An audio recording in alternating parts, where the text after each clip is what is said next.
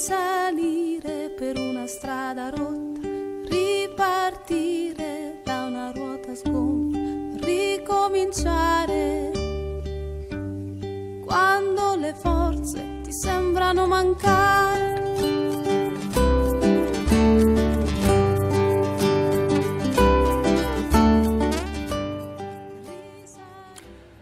Parliamo di musica in questo spazio approfondimento, come avrete eh, intuito dall'intro, presentiamo un nuovo lavoro discografico, quello di una giovane cantautrice pugliese, Rita Zingariello, nata ad Altamura ma di fatto di Gravina in Puglia. Il nome dell'album è Possibili Percorsi per l'etichetta Digressioni Music, terzo progetto con eh, dopo due eh, EP autoprodotti. Intanto benvenuta Rita Zingariello negli studi di TRM, ben trovata. Grazie.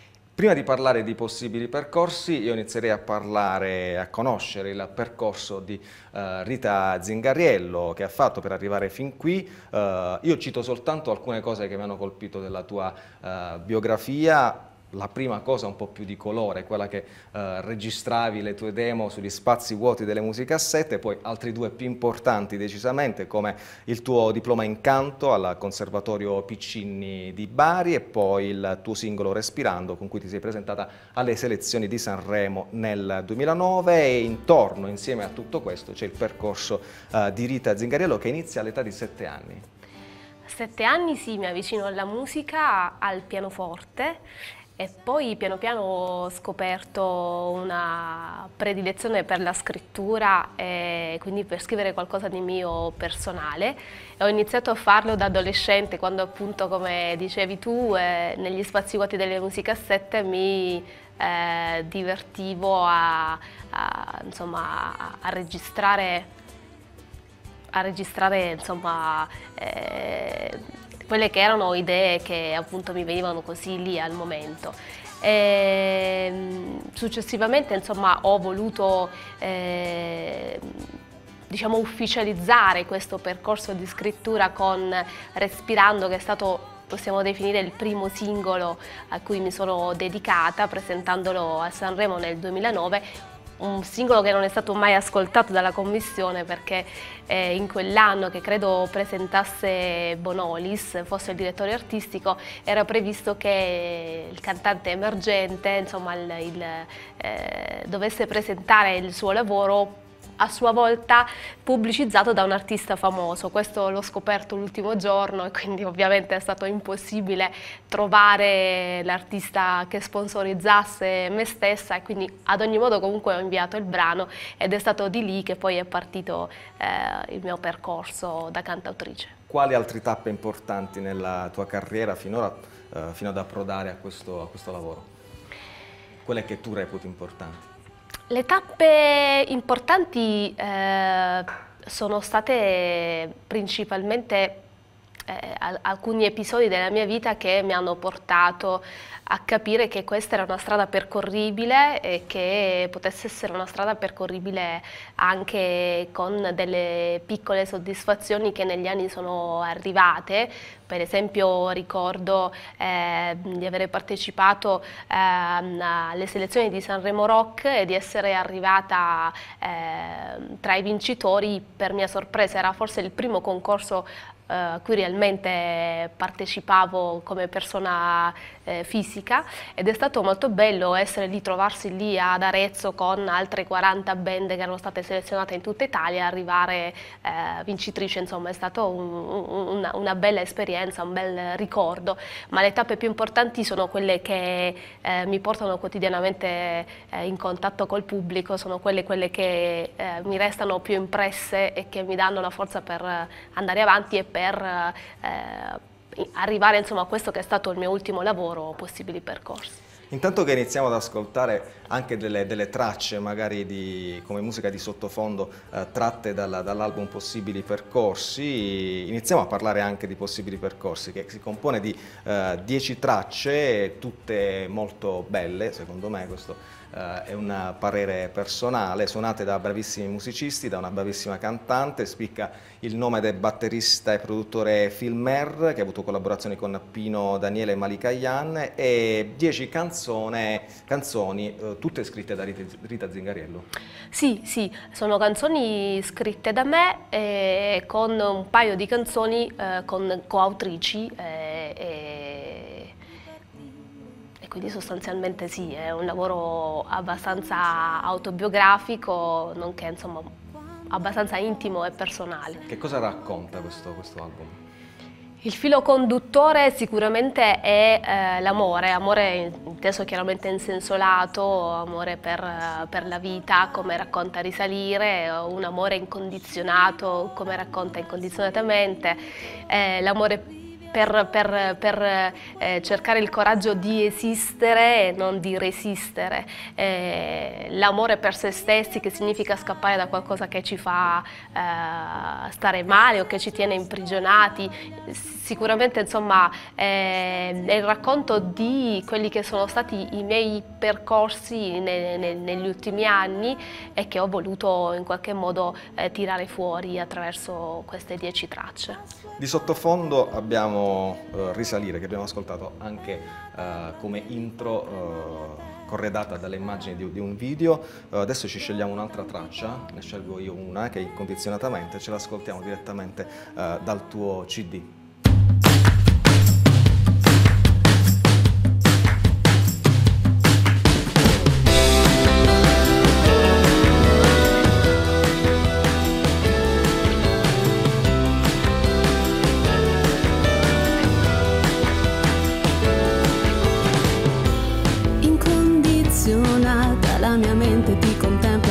点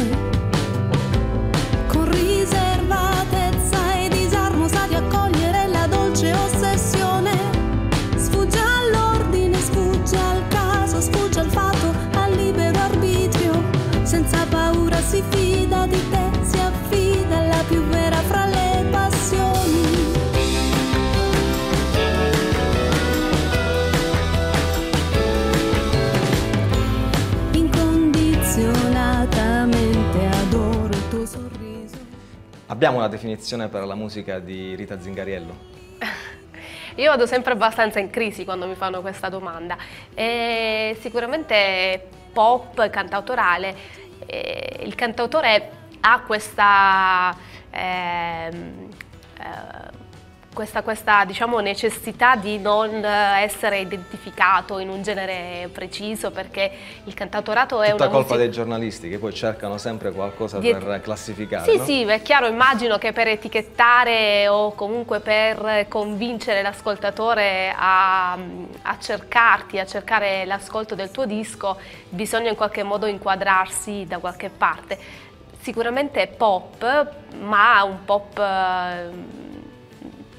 cantautorale, ecco, lo definisco così e poi eh, preferisco che siano gli ascoltatori eventualmente a dare l'etichetta se proprio devono al disco. Un pop assolutamente raffinato, eh, c'è chi ha ravvisato insomma, eh, delle, delle, somiglianze con la voce di Nora Jones, io personalmente eh, potrei accostarti a una cantautrice eh, italiana che è Patrizia Laquidara, una cantautrice eh, siciliana che, eh, che, adoro. Che è molto brava, vedi, non, non l'avevamo preparata questa e ci è venuta naturale.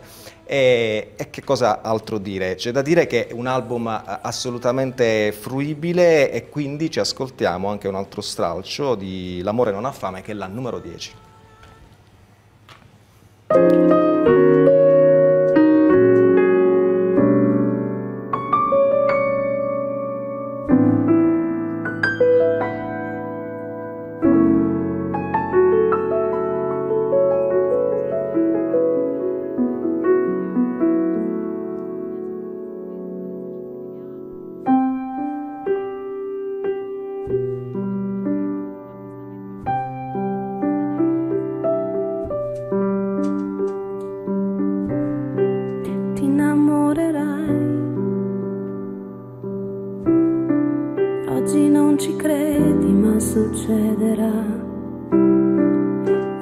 tornerai a sognare e scoprirai di avere dentro te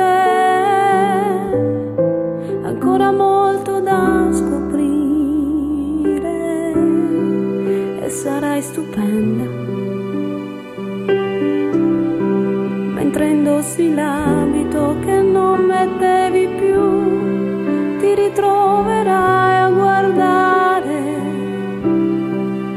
mondo in altri occhi. Insomma, è questa la cifra stilistica di Rita Zingarero, la stiamo eh, ascoltando, stiamo anche ascoltando eh, le sue parole. Mm, abbiamo, ti abbiamo accostato a qualche cantautrice, mentre le tue, eh, diciamo così, i tuoi punti di riferimento quali sono stati in questi anni di tua formazione artistica? Ma anche lì ehm, punti di riferimento molto pochi, eh, ascolti tanti, Mm, se vogliamo, sicuramente sono cresciuta con un rock, musica rock melodica, i Police piuttosto che eh, i Cranberries eh, o eh, Alanis Morissette, insomma ascolti eh, piuttosto britannici. Eh, musica italiana, vabbè, il cantautorato eh, dei, dei più grandi, Battisti, anche i primi percorsi di Elisa piuttosto che Carmen Consoli sono stati più che punti di riferimento quegli ascolti che poi riproponevo durante i primi eh, concerti, sì, sì, e quindi sono legata affettivamente a, a, questi artisti. Io ti proporrei uno stralcio di Eroe, di cui abbiamo anche un, un video. Sì. notte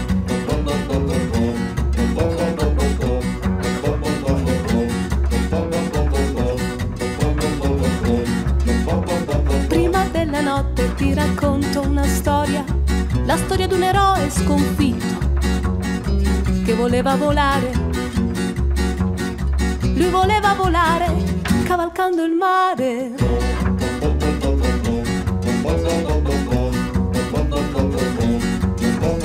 Lascia che ti raggiunga prima che il profumo svanisca, lasciati guardare bellezza. Toccami col vento, bruciami col sole. E questa era Eroe, traccia contenuta sempre all'interno di possibili percorsi, c'è una piccola storia da raccontare anche su questo video. Ma sì, il video è nato molto, molto per caso, una sera durante una, una prova. E abbiamo giocato col cellulare c'era un riff, un riff che insomma nel, nel, disco è riproposto da una chitarra cubana, il tres e quindi non avendo lo strumento a disposizione ci è venuta l'idea di riproporre il riff attraverso eh, questo curioso coretto dei, dei tre miei amici che erano lì ad accompagnarmi che sono persone seriose e quindi a me piace, insomma, eh, sono, sono, un po', c'è, una vena sicuramente un po' comica dentro di me, soprattutto durante i live e mi piace prendere in giro la loro serietà ed è venuto fuori questo, questo video. Citiamo anche Filmer, batteria nel, come l'abbiamo già citato eh, in questo disco, Andrea Lombardini al basso e Valerio De Paola chitarra e cori, e ovviamente voce Rita Zingariello. Ultimissima domanda perché siamo davvero in, in chiusura, come è possibile entrare in, possi in possesso di possibili percorsi e come possiamo seguire i tuoi live, dove possiamo rintracciarti? Sicuramente i social network sono eh, la materia prima attraverso cui un artista oggi può promuoversi. Il disco, grazie alla collaborazione con uh, Digressione Music, è, è, insomma, si può trovare in tutti i negozi Feltrinelli d'Italia, oltre che sul sito appunto di Digressione e durante i live che faccio in giro mi accompagno sempre insomma, col disco e fortunatamente eh, c'è ancora gente che segue eh, i live live e che acquista i dischi, quindi insomma sono felice di questo. E approfitto a, a, proposito di Eroe, eh, ricordo che è stato selezionato per, per quanto ecco, possa sembrare eh, il video così divertente, è un testo abbastanza importante che è stato selezionato per Amnesty International, un premio eh, per i diritti umani e quindi se volete sostenermi appunto su Facebook potete trovare i link dove cliccare mi piace e darmi la possibilità di arrivare in finale per questa, per questa occasione. Insomma. Insomma, tanti complimenti per, per tutto quello che, che, fa Rita Zingariello, anche per questo uh, traguardo nel, nel traguardo del, del, CD Possibili Percorsi. Continueremo a seguirti attraverso i social e quindi a seguire le tue uh, esibizioni live e la tua uh, carriera. Grazie ancora per essere stata con noi. Grazie mille a voi. Linea alla